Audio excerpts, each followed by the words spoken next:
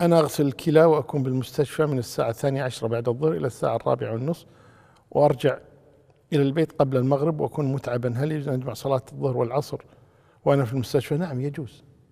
يجوز تجمع الظهر والعصر ولا بأس عليك وأجر عافية والسلام عليكم ورحمة الله وبركاته.